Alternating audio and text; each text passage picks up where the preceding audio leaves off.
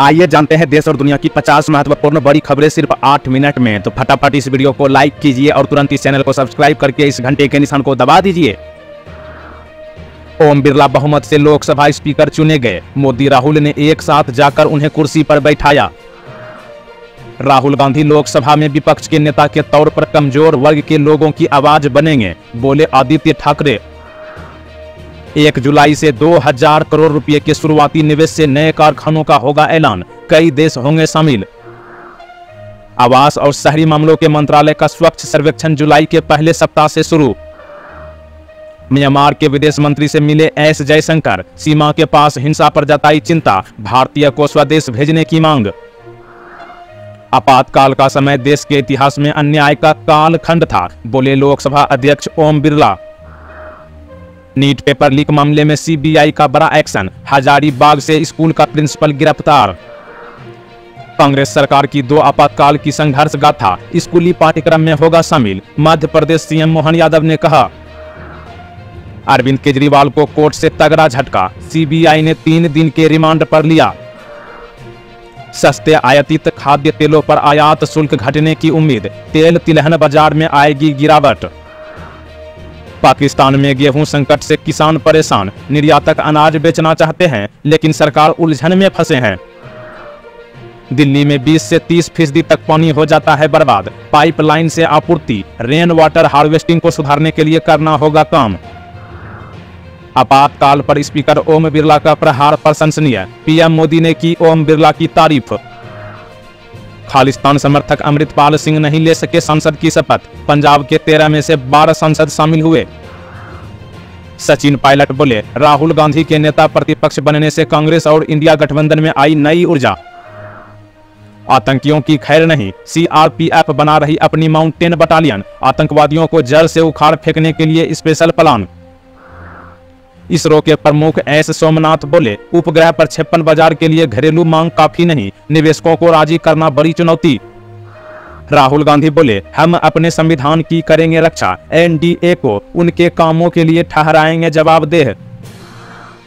PM कार्यालय पहुँचे हरियाणा के राज्यपाल, साथ में थे दो छोटे बच्चे, पीएम मोदी ने किया दुलार।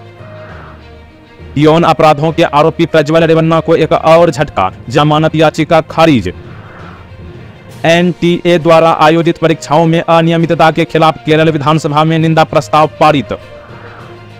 सोने चांदी सस्ते में खरीदने का सुनहरा मौका। सोने की कीमत दो सौ पचास रूपए कम होकर बहत्तर हज़ार तीन सौ रूपए प्रति दस ग्राम। वहीं चांदी की कीमत भी नौ सौ रूपए घटकर नब्बे हज़ार छह सौ रूपए प्रति किलोग्राम। लोकसभा अध्यक्ष के चुनाव में मत विभाजन नहीं कराने पर तृणमूल कांग्रेस ने उठाए सवाल। अमेरिकी राजदूत गार सेटी का दावा, मोदी सरकार तीन होगा फ़ायदेमंद साबित, अमेरिका एवं भारत कई क्षेत्रों में करेंगे प्रगति। आपातकाल की चर्चा में विपक्ष के हंगामे पर भाजपा ने कसा तंज, कहा संविधान की प्रति हाथ में लेकर ड्रामा। ज़मीन के बदले नौकरी घोटाला मामले में लालू के सहयोगी अमित कात्याल को जमानत, हाईकोर्ट बोला उन्हें जैसा खाना चाहिए वो जेल में नहीं मिल सकता। शराबी की अजीब नवाबी, दारू की दुकान बंद हो गई तो आधी रात संसद को लगा दिया फ़ोन। ऑडियो वायरल हुआ। पीपीएफ सुकन्या समृद्धि योजना समेत दूसरी बचत योजनाओं के ब्याज दरों में अगले दिन बढ़ोतरी संभव। शिरोमणि अकाली दल के नेताओं ने कहा, एनडीए का पुराना सहयोगी दल टूटने के कगार पर, पार्टी को खत्म करने के लिए बीजेपी को बताया जिम्मेदार। पीटी उषा ने एशियाई खेलों में योग को शामिल करने की वकालत की। दीजिए जवाब। आज का सवाल है, भारत के प्रधानमंत्री का क्या नाम है? इस सवाल का सही जवाब नीचे कमेंट बॉक्स में लिखिएगा। मध्य प्रदेश में एक पेड़ माँ के नाम अभियान में शामिल होंगे अमित शाह, कैलाश विजय वर्गीय ने बताया। हवाई सफ़र करने वाले यात्रियों के लिए good news. Air India Express में आठ सौ रुपये में भरे उड़ान। मानसून पर भारतीय मौसम वैज्ञानिक का ताज़ा अपडेट। देश में अब तक 19 फ़ीसदी तक कम बारिश देखने को मिली है। राहुल गांधी लोकसभा में बने नेता प्रतिपक्ष, स्पीकर ओम बिरला ने दी मान्यता। सरकारी अधिकारियों की लेट लतीफी मध्य प्रदेश में अब नहीं होगी बर्दाश्त, सीएम मोहन यादव ने सुनाया फरमान। बिहार पुलिस की ज़ीरो टॉलरेंस नीति, सोशल मीडिया का गलत इस्तेमाल पर सकता है भारी, लाखों रुपये का लग सकता है जुर्माना। सुंदर पिचाई है अमेरिका में सबसे अधिक वेतन पाने वाले भारतीय मूल के सीईओ। पूरा तंत्र कोशिश कर रहा है कि केजरीवाल को जमानत ना मिले। यह तानाशाही है। बोले, केजरीवाल की पत्नी सुनीता केजरीवाल। मुरादाबाद में बीफ बर्गर बेचने वाला गिरफ़्तार। बजरंग दल के कार्यकर्ताओं ने थाने पर किया था हंगामा। कांस्य को स्वर्ण पदक में बदलने का लक्ष्य। पेरिस ओलंपिक के लिए 16 सदस्यीय भारतीय हॉकी टीम घोषित। टूटी फूटी सड़कों के लिए भी टोल टैक्स मांगेंगे तो लोग गुस्सा होंगे ही, बोले नितिन गडकरी। सड़कें अच्छी हालत में ना हो तो राजमार्ग एजेंसियाँ टोल टैक्स ना वसूले, बोले केंद्रीय मंत्री नितिन गडकरी। गिरिराज सिंह ने याद दिलाया मुलायम का किस्सा तो कांग्रेस ने भाजपा के नोटबंदी फैसलों को बताया काला इतिहास।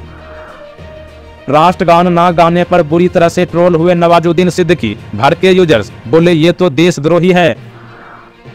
देश की रक्षा करने वाले जवानों की सुरक्षा को मद्देनजर रखते हुए कानपुर में बनी देश की सबसे हल्की और छोटी बुलेट प्रूफ जैकेट वाराणसी के रामनगर में तैयार हो रहा है। पूर्व पीएम लाल बहादुर शास्त्री के नाम पर घाट। करोड़ों की आएगी लागत।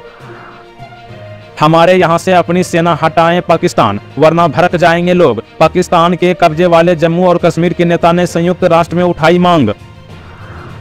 वाहन चेकिंग के दौरान पुलिस से भिड़े बीजेपी नेता, कहा समाजवादी पार्टी के लिए कर रहे हो काम, वीडियो वायरल हुआ। दुनिया भर के बैंक कर रहे हैं धरल्ले से कर्मचारियों की नियुक्ति, लेकिन यस बैंक ने की 500 कर्मचारियों की छटनी। हिमाचल प्रदेश की तीन विधानसभा सीटों पर उपचुनाव के लिए नामांकन वापस लेने की प्रक्रिया पूरी, अब तीन विधानसभा क्षेत्र में कुल तेरह प्रत्याशी चुनावी मैदान में। आपातकाल पर लोकसभा अध्यक्ष का प्रस्ताव का सत्याग्रहियों के संघर्ष का सम्मान, बोले अमित शाह। राम मंदिर की छत टपकने की खबरों पर चंपत राय ने दिया स्पष्टीकरण। राम मंदिर की छत से नहीं टपक रहा है पानी।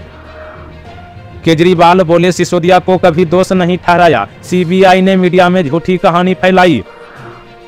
स्पीकर ओम बिरला के आपातकाल को लेकर कही बात पर सियासत गरमाई। कांग्रेस ने पिछले कार्यकाल को लेकर सवाल उठाए।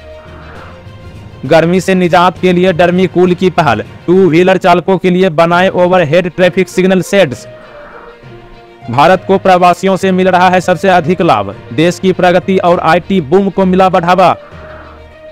सरकार के पास संख्या है, लेकिन जनादेश नहीं। भाजपा अब प्रभुत्व नहीं जमा पाएगी। लोकसभा में बोले ओवैसी। उत्तर प्रदेश के रामपुर में बीजेपी जिला अध्यक्ष के बेटे ने पुलिस कर्मियों को दी वर्दी उतरवाने की धमकी। जाँच के आदेश।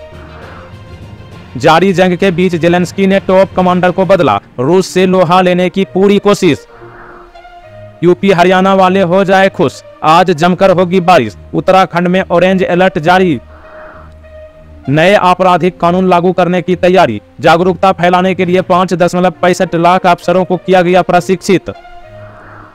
पति इस्तीफे के बाद वापस मांग रहा नौकरी। योगी सरकार ने तेज तर्रार आईएएस पत्नी को बनाया डीएम। हिजाब पर प्रतिबंध मामले में कॉलेज के फैसले के खिलाफ दायर याचिका हाईकोर्ट ने की खारिज। स्वर्ण मंदिर में फ़िल्मों के प्रमोशन पर रोक। योग विवाद के बीच शिरोमणि गुरुद्वारा प्रबंधक कमेटी का बड़ा खुलासा। महाराष्ट्र के पुणे से सामने आए जीका वायरस के दो मामले, डॉक्टर और उनकी बेटी हुई संक्रमित। अगस्त महीने में होगा पाकिस्तान इंटरनेशनल एयरलाइंस का निजीकरण। सोशल मीडिया प्लेटफॉर्म पर होगा इसका लाइव टेलीकास्ट।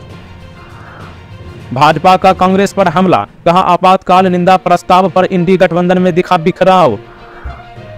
सेबी ने शेयर बाज़ार में हेर फेर में संजीव भसीन की भूमिका की जाँच की, सबूत के लिए सभी साक्ष्य जुटाएँ। किम जोंग को लगा बड़ा झटका, खुश हो गई उत्तर कोरिया की हाइपरसोनिक मिसाइल। स्कूलों में पढ़ाया जाएगा आपातकाल का संघर्ष, एयर टैक्सी किराए में 25 प्रतिशत छूट भी मिलेगी, बोले मध्य प्रदेश सीएम मोहन यादव। सोना, चांदी और प्लेटिनम पर घटे आयात शुल्क। सर्राफा व्यापारियों ने वित्त मंत्री के सामने रखे कई मांगे। पेरिस ओलंपिक के लिए भारतीय पुरुष हॉकी टीम घोषित। हरमनप्रीत सिंह करेंगे नेतृत्व।